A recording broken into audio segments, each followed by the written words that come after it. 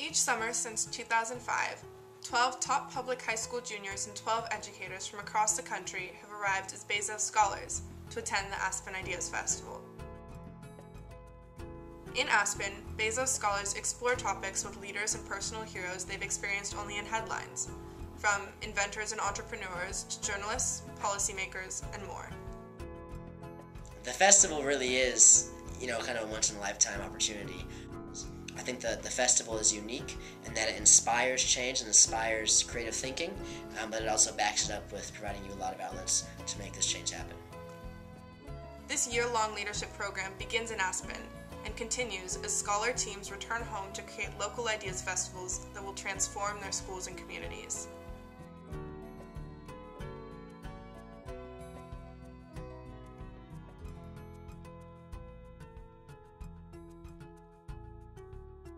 My festival is called World Water Week, and we focus both on local conservation and global access.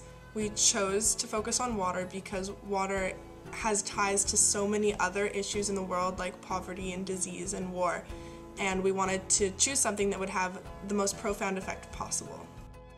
I really think that our festival shifted the culture of our school, uh, really pulled us together as, as a community, and, and by the end of the week, uh, just about all the students and teachers were uh, excited and engaged. According to a post festival survey, 80% of World Water Week participants say they will change the way they personally use water. Our festival was called Greenovation. It's basically a youth summit on environmental issues.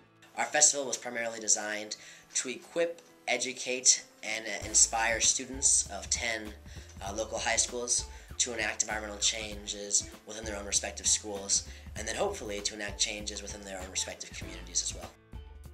The focus of my Local Ideas Festival was on diversity, and I felt this was incredibly important to my school and my community because my community basically consists of all of these little groups of very culturally diverse populations, and they rarely interact with one another.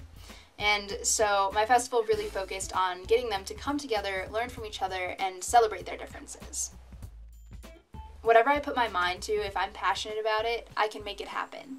And knowing that and having this experience and having gone to Aspen, having created my own local ideas festival, it really showed me that there are no impossibilities. 2009 scholars from Freedom High School in Tampa, Florida reached hundreds of elementary school students through their I Feel the Need to Read Literacy Festival. The festival's overwhelming success inspired two more local high schools to start their own literacy initiatives, benefiting over 1,000 elementary school students this year. Bezos scholars are getting noticed, from feature stories in Parade magazine and Edutopia to the Huffington Post, which lauded the Bezos Scholars Program for incubating big ideas and model citizens, one high school at a time. We asked alumni scholars to sum up the experience in one word. Passionate. Catalyzing. Extraordinary. Opportunity. Incredible. Inspiring. Captivating. Mind blowing. Ineffable. Enlightening. Effervescent. Life changing. Irreplicable. I hope it's a word.